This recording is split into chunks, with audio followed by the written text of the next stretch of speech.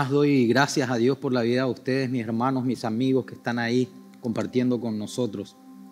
En general, todos ustedes forman parte de, nuestra labor y, y, consecuentemente de lo que representamos como iglesias, de lo que representamos cada uno de los predicadores de esta casa, desde el pastor Emilio, el pastor Adolfo, Federico, cada uno de los auxiliares pastorales, mis compañeros aquí que están en el área de multimedia, en las cámaras, la gente que recién estuvo ministrando en la alabanza, la gente de la parte administrativa, los ujieres, cada una de las personas que en sus distintas actividades están y estamos sirviendo al Señor. Cuando ustedes están ahí le dan mucho sentido a todo nuestro esfuerzo, que lo hacemos primeramente para nuestro Salvador, en el amor con el cual Él mismo nos rescató y nos abrazó primero. En ese amor nosotros nos queremos volcar sobre la vida de ustedes en los principios de la verdad, que es la figura de nuestro Salvador Jesús. Y queremos también agradecer y oramos por la vida de cada uno de los que se hacen participantes con nosotros en relación a sostener la obra. Eh, sus aportes voluntarios en verdad que hacen de este lugar un lugar de provisión en, todos los sentidos y nos da una excelencia y le alabamos al Señor por la generosidad, por la fidelidad de ustedes, hermanos, hermanas, amados. Que nunca falte el pan sobre la mesa de tu Hijo. Que el Señor te prospere al levantarte y al acostarte. Que tu entrada y tu salida siempre esté guardada por nuestro Salvador, el cual hace salir su bendita luz sobre buenos y malos y envía su lluvia sobre la gente justa y también las injustas, pero que a vos te prospera de una manera que no añade tristeza. Así es mi oración en favor tuyo, por medio tuyo en favor de tu casa y a través tuyo, mi hermano, mi hermana, en favor de todo lo que te rodea con relación a la forma en la cual te sostenes. Que el Señor te guarde en tus pensamientos y en tus corazones. Amén, gente linda. En verdad que es muy importante que ustedes sigan participando con nosotros, porque esto hace que, que nosotros nos dediquemos exclusivamente la lectura y a la oración. Lo digo con el temor del Señor. No vengo a, querer decir que soy el hombre hiper espiritual, ni mucho menos. Prosigo a la meta. No quiero utilizar ese pasaje del apóstol Pablo como una excusa, pero prosigo a la meta. Estoy convencido que el Señor me ha guardado tantas veces. Es más, quisiera contarle una de las ocasiones. Eh, es, es, es un misterio para mí. No quiero hacer de esto una regla, pero quiero glorificarla a mi Señor. Y, y sí, lo voy, a, lo voy a sujetar obviamente a la palabra cuando dice que, que, Él no va a permitir que nosotros seamos tentados más de lo que podamos resistir. Y que cuando Él permite una tentación, Él provee la salida. Y que nosotros permanezcamos en, en pie, digo, en esas pruebas, a Él lo glorifica. Me encontraba yo tratando de, de restablecer o más bien caminar en el nuevo fundamento al cual fui llamado, caminar en Jesús. Eh, había estado privado de mi libertad, fui predicado, la Biblia llenó mi entendimiento, mi corazón, cambió mi conducta. Pero al salir en libertad costaba mucho conseguir trabajo. Mi esposa Luz Marina, lo digo con mucho respeto, pero es, es la verdad. Eh, ella no estaba entregada al Señor, ella todavía no había tenido su encuentro con la palabra. Ella no era una regenerada, una nacida de nuevo, como decimos en la jerga evangélica y así en el vulgo eh, popular. Ella no estaba convertida. Y bueno, y teníamos nuestros conflictos y nos peleábamos algunas veces con algunos decibeles que, que, desaniman, ¿verdad? Que hacen que, que, las fuerzas parece que no sean suficientes y justamente en ese desánimo vengan estos pensamientos, ¿será que vale la pena? ¿Será que hice lo correcto? Y queremos abandonar el proyecto nuevo de vida que fuimos invitados en el Señor. En ese contexto que te acabo de escribir, yo salí de la casa, ¿verdad? Era de día aún, y, justo me viene a la mente porque ahora hay encuentros de fútbol, aunque las graderías están vacías, no hace falta que explique por qué es eso, ¿verdad? Pero cuando eso no se daba de esa manera, y, bueno, yo había tenido un tiempo que me iban las cuestiones de la hinchada y todo eso, y me fui a buscar a aquellos amigos. Coincidía, entre comillas, coincidía esa pelea que había tenido con mi amada Luz Marina eh, con un día de fútbol. Y me fui en ese entorno. Y, Nadie me pasó un solo cigarrillo. No quiero complicar a nadie, pero ahí corre drogas. Nadie me pasó nada de eso, ni el alcohol que también estaba circulando nadie me pasó. ¿Y por qué hago este énfasis? Porque en otras ocasiones me fui a visitarlos a ellos. Pero yo no estaba peleado con Luz, más todo estaba viento en popa, las emociones ahí arriba. Y, bueno, yo los visitaba y ahí sí me pasaban la droga, yo hacía el pasamano, me pasaban el alcohol y yo hacía y yo les hablaba, entre comillas, por favor, no se me bloqueen, ni tampoco quiero sonar ofensivo, mucho menos blasfemo, ni ofensivo hacia mi Salvador. Yo les decía a ellos cosas como esta, conocí una nueva droga y me miraban así ellos, ¿verdad? Y, y les decía, Jesús se llama que era algo superior, que vino para quitar esto que, a ustedes aparentemente les hace felices, pero es inferior. Y así yo les predicaba y en esas ocasiones me pasaban, pero yo no los consumía. En esa ocasión de la pelea, sí me fui como para consumir. Porque me fui así en el desánimo de mi corazón. Entonces, una vez estando ahí en el lugar, era como, como un espectro, un fantasma, nadie me hacía caso. Y yo tenía también así pudiéramos decir, como mi, mi, ay, no sé qué término utilizar para no generar una, una, falsa idea, pero tenía como mi nombre ahí en medio de lo que era ese lugar de la hinchada, especialmente en lo que implicaba mi barrio. Y yo era un nadie ahí en medio de ellos, nadie me pasó. Lo que sí comenzaban a irse hacia el estadio y yo entendí que fue el Señor. Y me retrasé así, como que me hice el desentendido cuando ellos se iban hacia la parada del colectivo y comencé a llorar. Porque entendí que el Señor me había guardado. Porque tal vez si yo hubiese metido un trago de alcohol en mi boca o cualquier otra sustancia, quién sabe cómo yo hubiese terminado esa noche. Yo no estoy comparando mi vida con nadie. Yo estoy hablando de mi Dios el cual no hace acepción entre sus hijos, el cual trata con sabiduría a los suyos. Y esa su sabiduría muchas veces duele. Y puedo hablar de otras experiencias también, donde sí me dolió la disciplina del Padre y que es necesario y todos debemos de participar en ella. Pero quiero hablar de algo muy importante que tenemos que tener en cuenta para con el Señor. Esa fama y esa cuestión que quise hablar ahí aunque parezca tan estúpido, yo entiendo que no sirve para nada, que es una ridiculez y hasta con todas las letras demoníaco, porque es un estatus delictivo, es algo que no sirve, que no dignifica, que no hace crecer como hombre, que no sirve para nada, recalco, aunque, aunque sea así, uno cree que es algo y uno piensa que es grande. Y hoy quiero hablar de, de aquello que lo que para el mundo es pequeño, para Dios es grande. Y lo que para el mundo puede aparentar ser grande, para Dios es insignificante. Muchas veces las personas dicen que creen en Dios, pero sufren de una profunda desconfianza hacia su palabra. Y esto pasa porque, y lo digo entre paréntesis, por lo general, esto pasa porque también hay una profunda o un profundo, digo, desconocimiento de la misma. Hay un desconocimiento de la palabra. Por eso las personas viven de una manera totalmente eh, irrelevante, una manera que no, no manifiesta al Dios en el cual ellos dicen creer. Entonces, pudiésemos concluir de esta manera, desconocimiento de la palabra es igual a desconfianza hacia el Señor todos esos pasajes que, que, vine diciendo de esa primera carta a los Corintios capítulo 10, donde nadie es tentado más de lo que pueda resistir, yo, yo los conocía, pero los comencé a vivir en Él.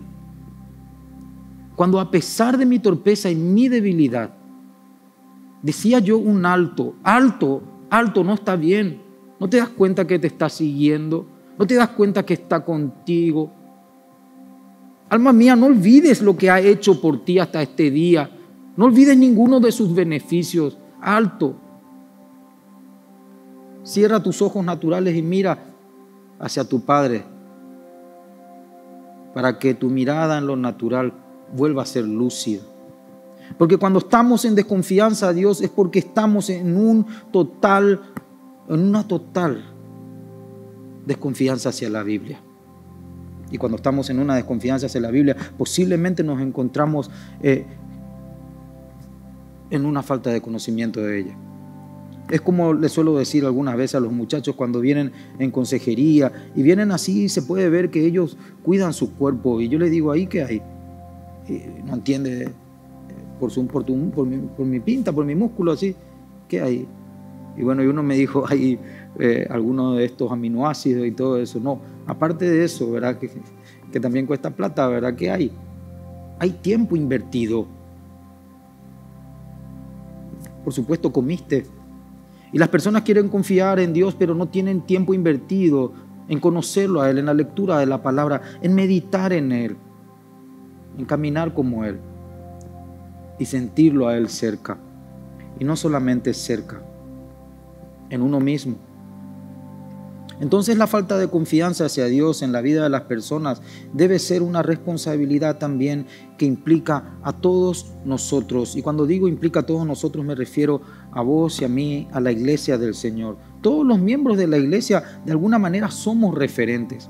Yo he hablado con un pariente que, que bueno, él se había alejado de la iglesia, le va a parecer ridículo, pero créanme que cuando organizamos un torneo acá con los muchachos también de la congregación, dejó de ser ridículo. En ese momento me pareció una excusa absurda nada más. Pero me dijo, ¿por qué no se estaba yendo más a la iglesia? Me dijo, porque en un partido de fútbol le dio como no, era un pastor, pero era un líder así en medio de la congregación, le dio así un codazo, una reacción mala, y eso hizo que él no se vaya más a la iglesia. Sin lugar a dudas, sin lugar a dudas, los que estamos en liderazgo tenemos mayor responsabilidad. Pero créeme que todos te están mirando afuera. Nuestra responsabilidad es de ser referentes en relación a quién? A la persona de Jesús, tanto para los de adentro como para los de afuera. ¿Cómo sería cuando no respondemos a esta responsabilidad que tenemos de ser referentes para, para las personas en relación a Jesucristo nuestro Salvador? Sería tener una vida incoherente. Una vida incoherente es una vida sin fe. Una vida sin fe, ¿verdad que dice la carta a los romanos? La fe viene por el oír de la palabra de Dios. Una vida sin fe es una vida que no fue nutrida, que no se invirtió tiempo en conocerlo al Señor. Y tener una vida sin fe es tener una vida sin servicio, cuando miramos ahí en la carta escrita a los hebreos, la gente siempre habla de ese capítulo 11 que es, dicen con uno de los términos que, denominan ese capítulo, la galería de los héroes de la fe.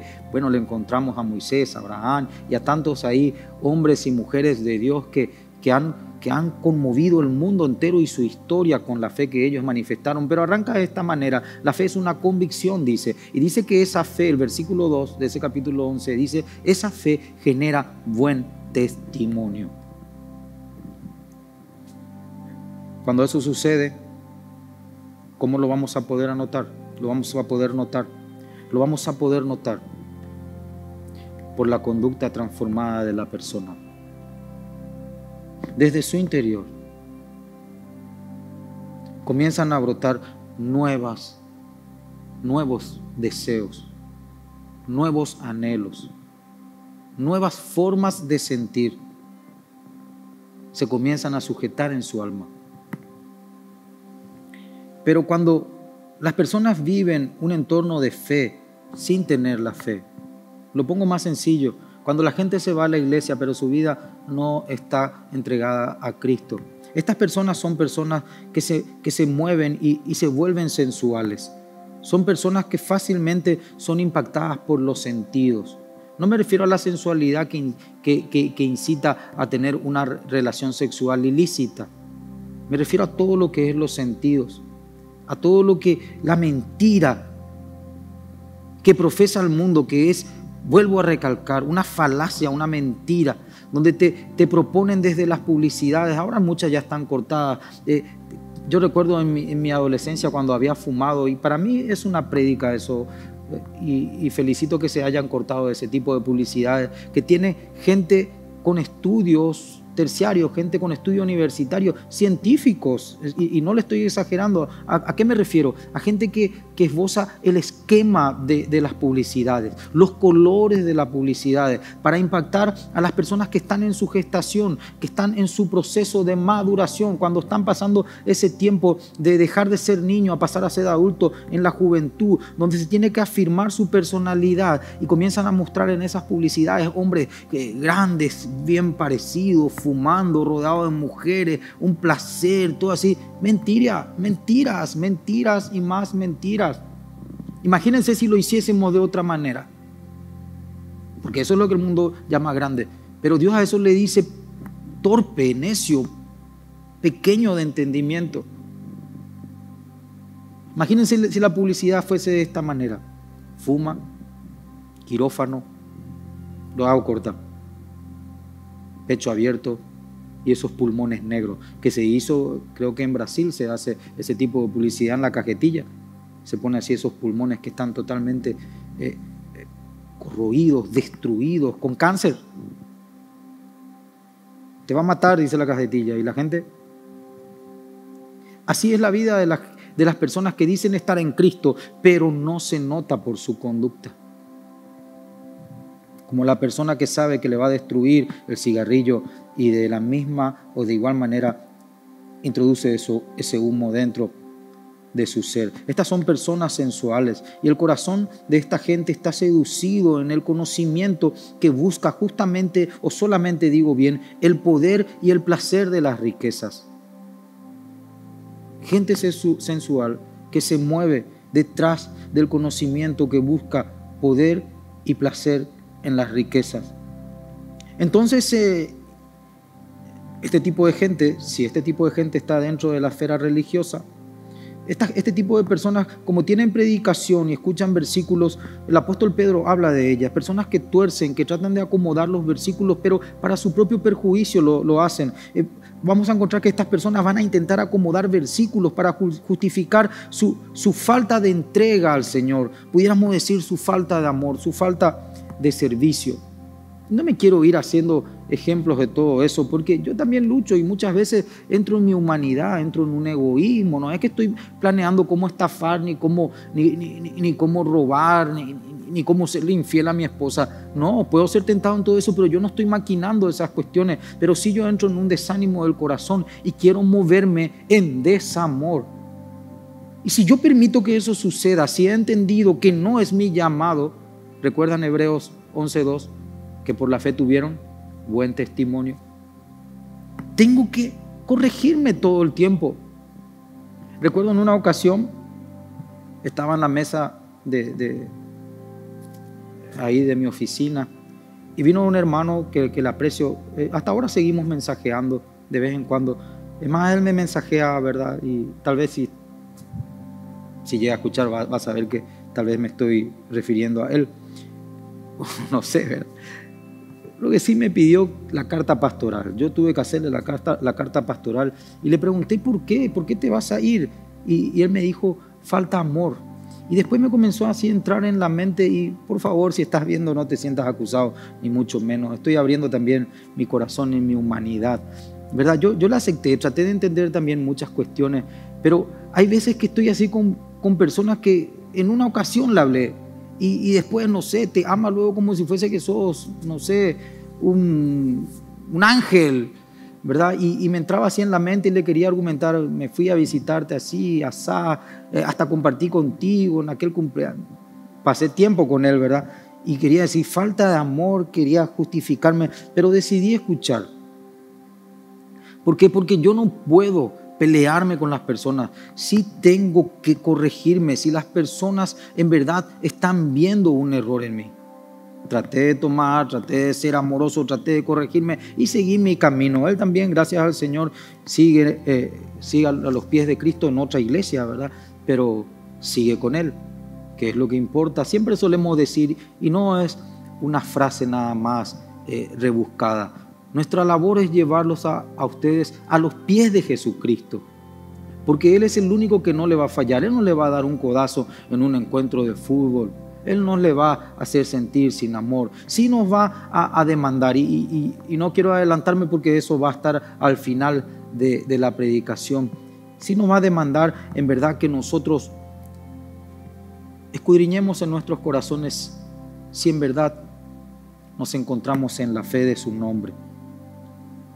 Entonces, cuando las personas están intentan acomodar versículos para justificar su falta de amor y todo eso, puede suceder que tengan este tipo de gente tengan versículos en sus labios pero al mismo tiempo estar totalmente carentes de Dios,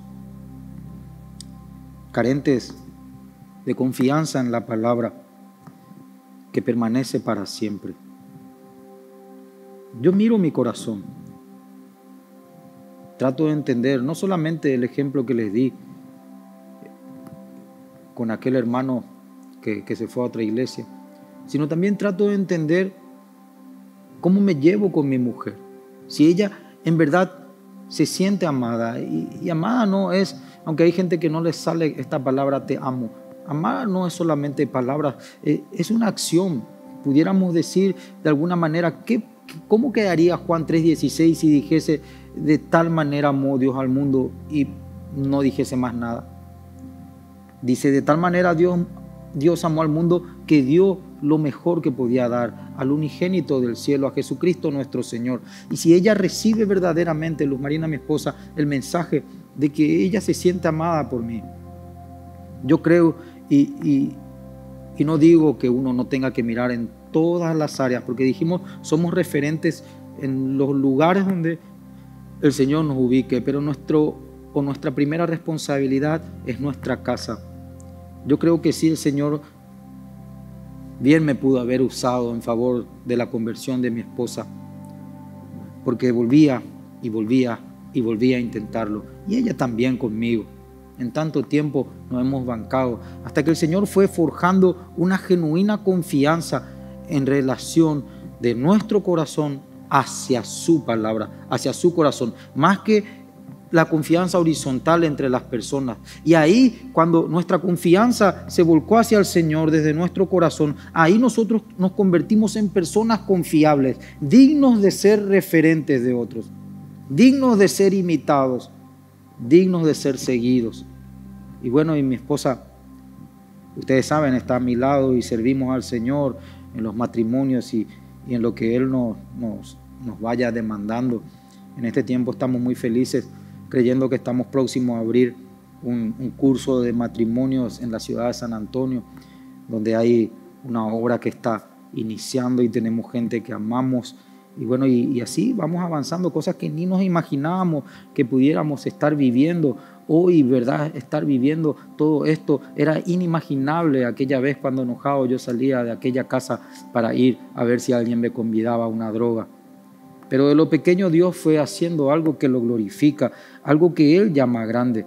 Y voy a hablar de lo que Él o lo que Dios se refiere como grande, como digno de ser imitado. Primera carta a los Corintios capítulo 2, versículos 4 al 5.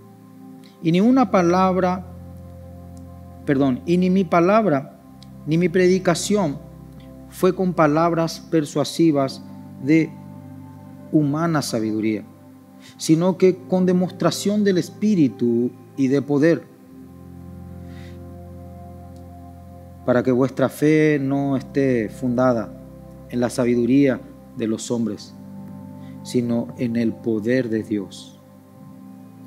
Podés decir desde tu corazón, vos sabés en quién has creído, vos. No, yo sé en quién he creído porque demasiado bueno es mi esposo, demasiado buena es mi esposa. No, yo sé en quién he creído porque demasiado bueno es este líder, este pastor. Yo sí que le pateé y él no reaccionó. No, no me refiero a eso. Poder de Dios. Continúo, te doy otro versículo. Porque no me avergüenzo del Evangelio, porque es poder de Dios para salvación a todo aquel que cree, sea judío o sea griego. Romanos 1.16. Segunda carta a los Corintios capítulo 10, 4 al 5. Porque las armas de nuestras milicias no son carnales, sino que son poderosas en Dios para la destrucción de fortalezas, derribando argumentos, ideas, toda altivez que se levantan en contra del conocimiento de Dios y llevando todos los pensamientos a la obediencia, llevándolos cautivos a, a los pensamientos, a la obediencia en Cristo Jesús. Primera carta a los tesalonicenses 1.5, pues nuestro evangelio no llegó a vosotros en palabras solamente, sino también en poder, en el Espíritu Santo y en la plena certidumbre, como bien sabéis, cuáles fuimos entre vosotros por amor de vosotros, le decía Pablo a los cristianos que vivían en Tesalónica. Estos pasajes hablan de que eh, estar en Dios, en verdad, ser impartidos en la, en la plenitud que es Cristo, hace que nuestros pensamientos se sujeten a Él, hacen que no tengamos vergüenza de Él, hace que no andemos con nuestro esfuerzo meramente humano, carnal, porque las armas de nuestras milicias no son carnales, sino que nuestras vidas denotan que el Espíritu Santo es el que nos sujeta, que el Espíritu Santo es el que nos cubre, el que nos guarda y el que conoce las intenciones más secretas de nuestro corazón. Pero la sensibilidad a la voz del Espíritu Santo es imposible cuando la persona, el ser humano en general que se mueve en las esferas religiosas, confía o depende en sí mismo, en sus fuerzas. Proverbios dice a este tipo de personas que va a ser imposible que, que puedan sentirse confrontados en relación a lo que tiene que ser corregido. Va a ser imposible porque dicen, no, yo soy bueno, no, yo no necesito, no, yo tengo luego mi religión, como si fuese que, que Cristo está limitado a las organizaciones de los hombres. Visto páginas que, que, hablan de, la única y verdadera iglesia y que saliendo de ahí, como si fuese que ellos son dueños de Cristo. Eh, hermanos, hay, hay tanto desconocimiento de la palabra, tomando versículos, tomando autoridad en cuestiones históricas, la vida es lo que importa. Si sos ahí un católico que estás viendo, quédate en tu iglesia. No vengas acá, lees la Biblia. Y que el Espíritu Santo, si en verdad viene la palabra de Dios y el Espíritu Santo a hacerte un nuevo nacimiento, vas a madurar y vas a hacer preguntas totalmente naturales. Como cuando un hijo le pregunta a su papá, papá, ¿qué es eso? A mí me ha pasado. Me estoy yendo un poquito por la rama, pero síganme, creo que es del Señor. Mi amor es un hombre vestido de mujer. Papá, ¿y por qué hace eso? Porque creyó una mentira. Y va a crecer. Y va a entender que es una mentira. Así es un nacido de Dios. Se alimenta de la verdad. La palabra es verdad. Y conociendo la verdad se hace libre. Y no vas a estar atado a un ritual, a que alguien te tenga que introducir algo en tu boca o que tenga que un hombre hablar, porque la salvación es de Dios, es ejecutada por Dios. Es imposible que el hombre sea salvo por sus méritos, dice el proverbio. Y repito, las personas se vuelven totalmente insensibles al Espíritu Santo cuando confían y dependen solamente de sus fuerzas se quieren hacer autosuficientes delante de Dios. Este es un espíritu muy violento. Es el espíritu que hizo que Caín mate a Abel. Proverbios advierte y dice, fíate, versículos 5 al 8 voy a leer del capítulo 3 del libro de Proverbios. Cuando dice fíate, confía, dice en Dios. Hazlo de todo corazón. No te apoyes en tu propia prudencia, no te apoyes en tu inteligencia nada más. Dice, reconócelo en todos tus caminos, en todos tus proyectos, y Él, Él es, y la alabo al Señor, es una delicia en mi corazón. Este versículo tiene historia para mí. Él enderezará, enderezará tus veredas. Lo ha hecho conmigo. Un pobre tipo que se fue desanimado para ir a drogarse, hoy te está predicando. Él endereza mis veredas. Mi inteligencia no fue suficiente. Yo confié en Él de todo corazón. La gente hoy me dice, wow, qué sabiduría. Todo lo que tengo es de Él. No seas sabios en tu propia opinión. Teme a Dios y apártate del mal. Eso sí, porque esto va a ser medicina para tu cuerpo. Dice el versículo 8, refrigerio para tus huesos. Estar en el Señor es salud y fortaleza. Por eso Jesús dijo, aprendan de mí, soy manso y humilde, obediente y ando humillado, para que tengan descanso en su corazón, ese descanso que tanto la gente busca. O, el Señor mintió, mi yugo es fácil y es ligera mi carga, Él decía, o el Señor mintió, Él no mintió.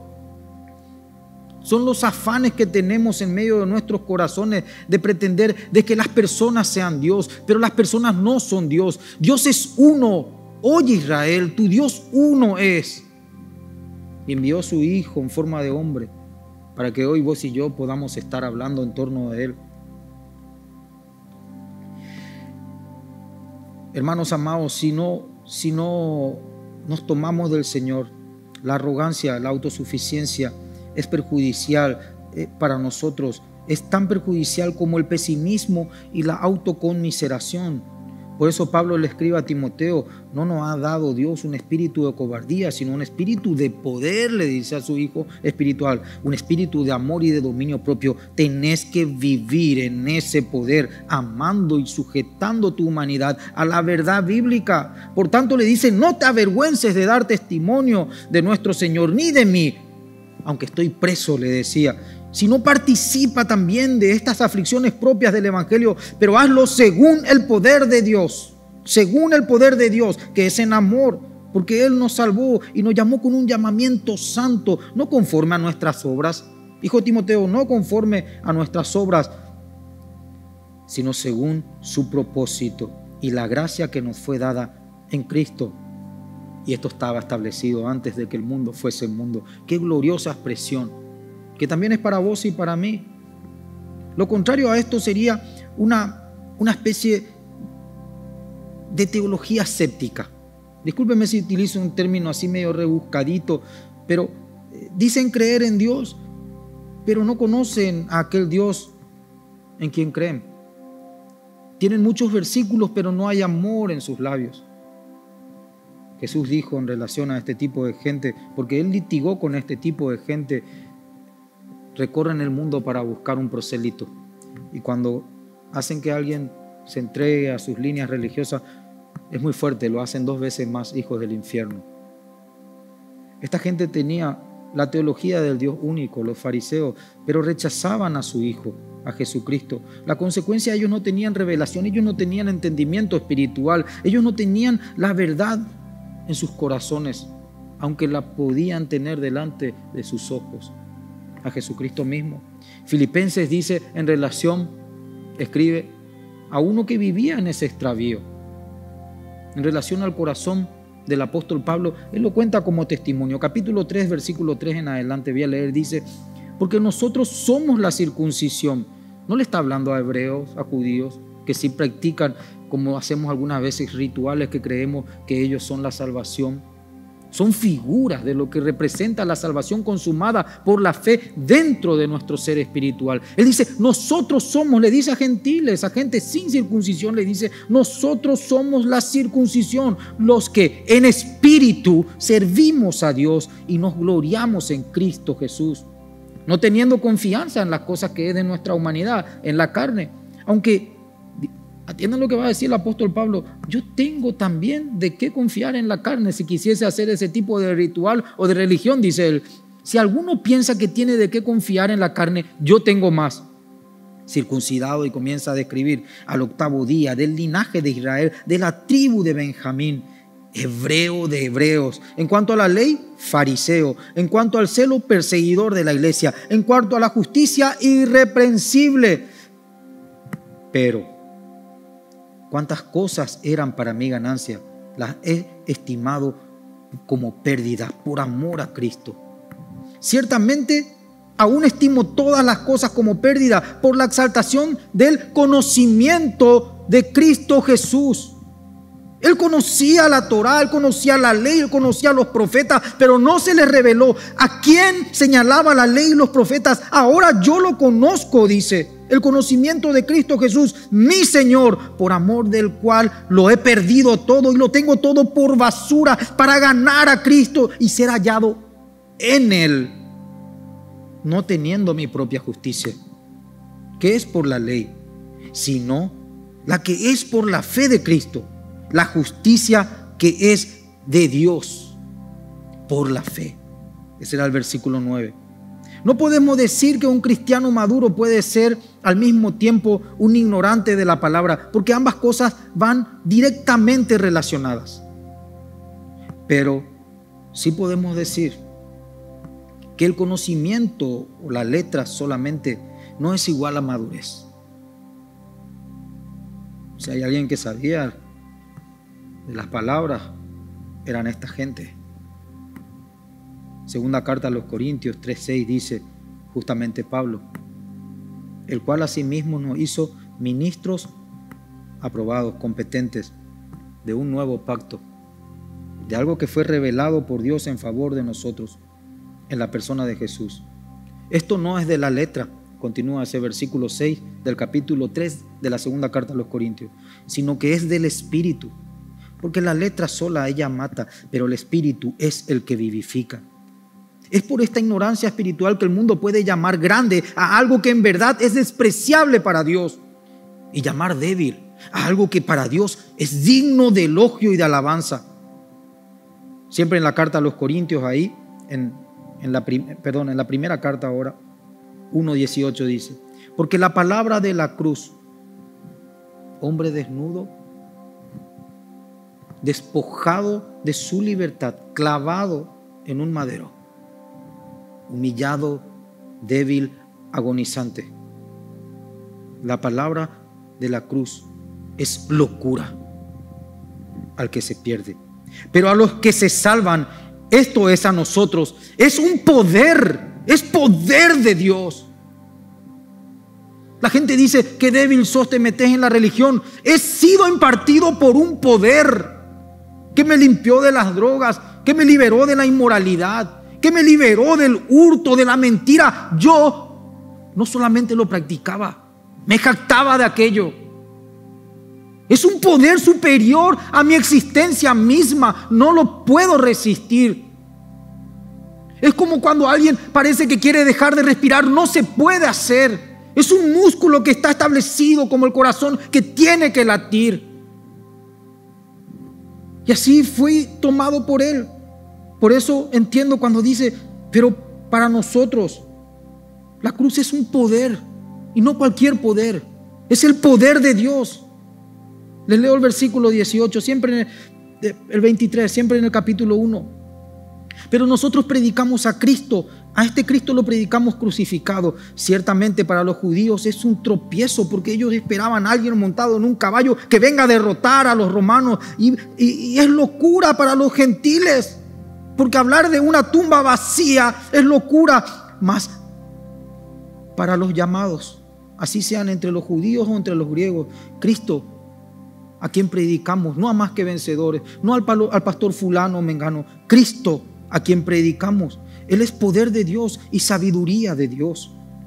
Porque lo insensato de Dios es más, es más sabio que los hombres y lo débil de Dios es más fuerte que los hombres.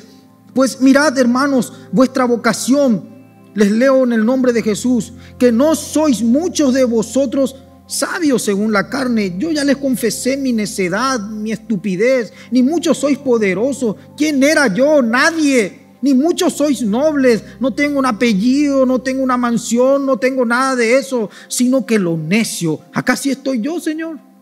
Acá sí me veo. Lo necio del mundo escogió Dios. Aquellos que ven que la cajetilla dice te va a matar y fumaban igual. Lo necio del mundo escogió Dios para avergonzar a los sabios. Y lo débil del mundo escogió Dios para avergonzar a los fuertes. Y lo vil, lo que no es, lo menospreciado, eso escogió Dios. Ahí yo entiendo, ahora entiendo por qué le escogiste a Vicente Mesa. Entiendo por qué Pepi puede estar predicando. Eso escogió Dios, lo que no es, para deshacer lo que es. A fin de que nadie se jacte en su presencia. Es así que las cosas que para el mundo son pequeñas e insignificantes, para la Biblia son lo más sabio que hay y lo más grande que hay. Y termino con este pasaje que está acá en, Proverbios, donde podemos tomar, y, y, dice la Biblia, cuatro cosas son las más pequeñas de la tierra, insignificantes tal vez, pero las mismas son más sabias que los sabios. La hormiga, sé diligente, si en verdad fuiste alcanzado por la sabiduría de Dios. sé diligente como la hormiga. Dice, pueblo no fuerte, y en el verano prepara su comida. Hace las cosas bien, no para los ojos de las personas. Hacelo con entusiasmo. Ellas son tu vida. Hacelo en su tiempo, es en el verano. El que no siembra en el tiempo que corresponde a la siembra, cuando haya ciega, ¿qué recogerá? Sin muchas fuerzas, pero con trabajo, hacelo lo que viene a tu mano, según tus fuerzas. Yo recuerdo cuando estábamos en el tinglado allá sobre, no me acuerdo, Loma Valentina. No me imaginaba dónde íbamos a estar hoy. Yo solamente quería estar ahí. Y cuando se decía, algo se necesita, alguien que ponga un sobre ahí, se puede, alguien puede juntar la silla, estaba ahí. No sé, muchas cosas yo después entendí justamente que no es el mérito de uno. Y yo me sentía, y, y de hecho Ojalá el Señor siempre me mantenga así humillado delante de Él. Me sentía indigno de pararme ahí arriba. Yo pensaba que eran ángeles más o menos. Y el pastor Emilio yo pensaba que ni siquiera se iba al baño. Después me di cuenta que sí, ¿verdad? Pero que los que se subían a cantar eran semidioses. Porque cuando ellos comenzaban a ministrar la presencia del Señor hacía que yo no pueda permanecer en pie. Me arrodillaba y lloraba. Yo ya entiendo que el Señor me estaba sanando. Y esa sanidad hacía que yo sea una hormiga no puedo estar sin hacer algo para Él. ¿O en qué religión hemos entrado? Obedecer, estudiar, trabajar, casarse, todo tiene su tiempo. ¿Saben por qué se debe actuar en tiempo, con entusiasmo y de, y de buena forma hacerlo bien? ¿Saben por qué? Simplemente por esto. Te conviene. Te conviene hacer las cosas en su lugar y a su tiempo y con la mayor alegría en tu corazón. Después dice el conejo, ¿verdad? Pueblo nada forzado y pone su casa sobre la roca. Por encima de tus temores, confía en Dios. Es decir, en la palabra, la roca incomovible, el apóstol Pedro decía, acercaos a él, piedra viva, desechada ciertamente por los hombres, mas para Dios escogida y preciosa. Es, es simplemente saber de que estás guardado, de que si no escatimó su propio hijo para que vos puedas ser llamado hijo, Él te va a dar lo que necesitas y va a prosperar tu esfuerzo, aunque tengas pocas fuerzas, como es mi caso. La langosta no tiene rey y sale todas en cuadrillas. No tiene rey visible. No hay una langosta que sobresalga, que sea, no sé, fosforescente o que tenga una luz especial. Pero están en cuadrillas. ¿Saben quién le da la formación? El que las creó. El hacedor de todas las cosas. Así también si queremos ser pequeños delante de los ojos de los hombres, pero grandes delante de los ojos de Dios, tenemos que mantener la unidad. Es estar bajo el liderazgo del invisible. No solamente cuando viene fulano, ahí sí, trabajando, y cuando se va, holgazaneando. Haciendo las cosas como para Dios, porque Él te ve en todo tiempo. La unidad debe permanecer inquebrantable por medio del señorío de Cristo en todos nuestros afectos, es decir, nuestras familias, en la unidad de nuestras ideas, porque tenemos la mente de Cristo en nuestras obligaciones, en el cumplimiento de nuestros compromisos asumidos y también los impartidos por Dios para con nuestro caminar. Recordate que sos un referente no solamente en los que están acá en la congregación, sino en los de afuera. Y por último, la araña, y termino. Dice, que atrapas con la mano, pero ella puede estar, dice el versículo 28, en el palacio de un rey. Es un animal vulnerable, no es invencible. Lo puedes matar con una zapatilla.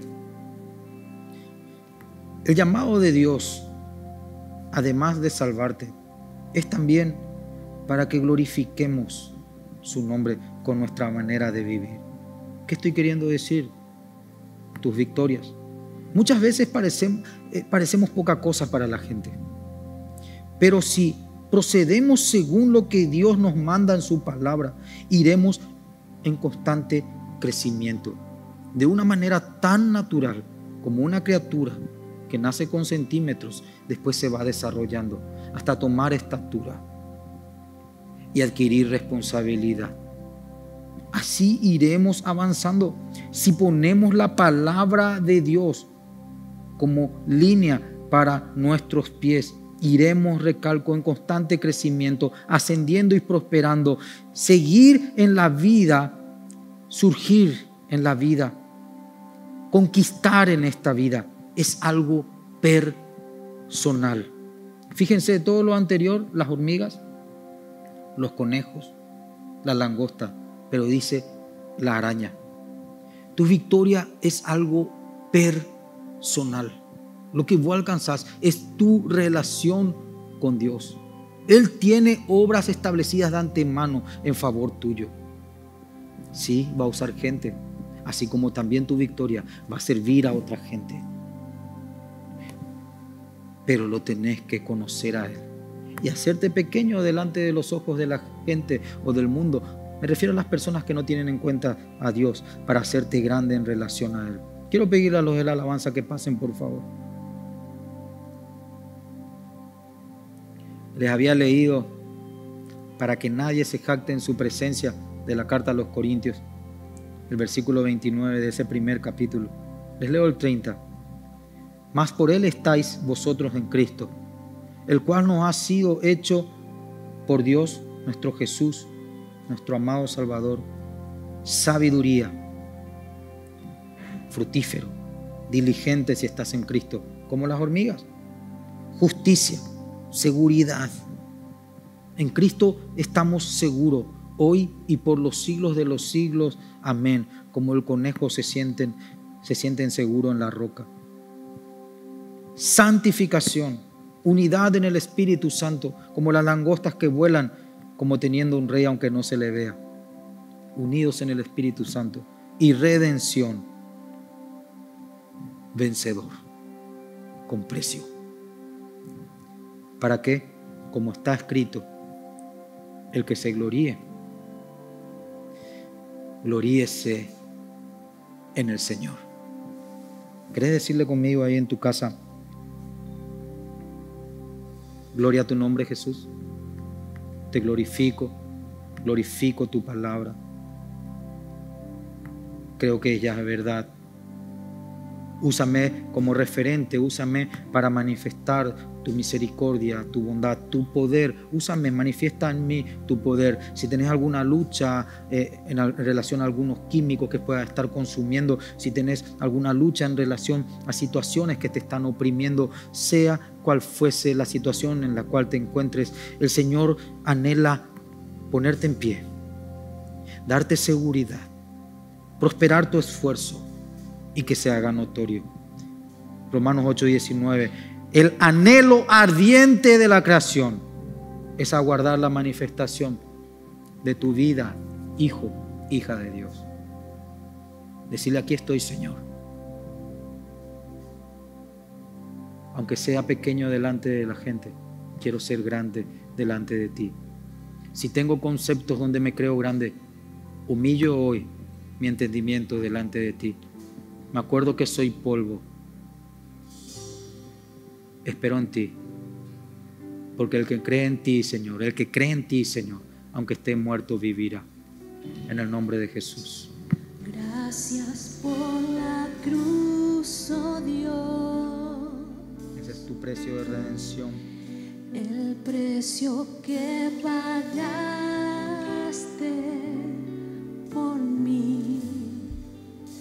llevando mi pecado ahí, sublime amor, tu gracia me salvó.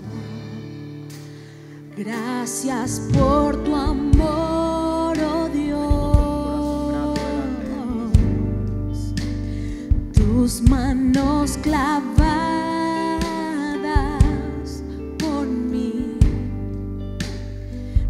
slava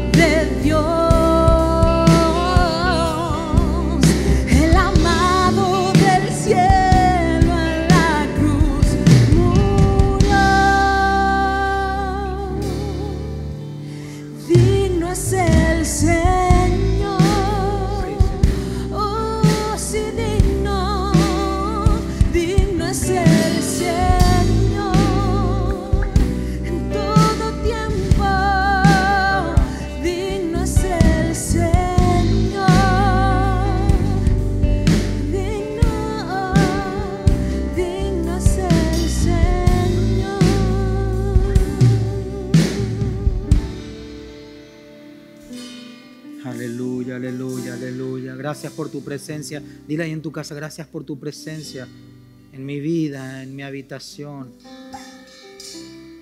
Tu presencia en mi corazón. Su presencia en tu corazón es eterna. Nadie te puede arrebatar de sus manos. Eres de Él, eres, eres de Él. Con precio eres de Él. Eternamente eres de Él. Hoy dile, decido pararme sobre la roca como los conejos. Decido esforzarme en el tiempo con alegría en el corazón como las hormigas. Dile, yo decido mantener la unidad de mi casa, de mi familia, de mi iglesia, de mi nación. Yo te miro a ti, oh invisible, y camino hacia la victoria que planeaste para mi vida. Hoy lo hago con fe en el nombre de Jesús. Amén y amén. Aleluya, aleluya. Gracias por estar ahí. Nos vemos pronto si Dios permite.